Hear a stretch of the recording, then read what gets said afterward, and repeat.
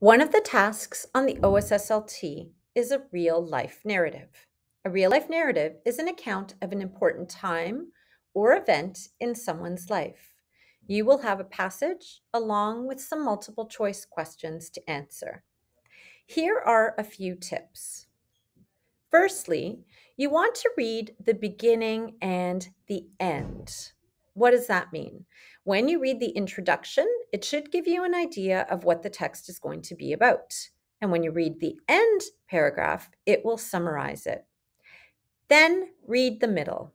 Pay specific attention to what the main character is thinking about, what they say, and what they do. Finally, after you read the passage, see if you can state what the narrative is about in one or two sentences. If you're stuck on a question, remember, go back to the part in the passage where that information was shared. Review the selection and your answers, and be sure to take your time.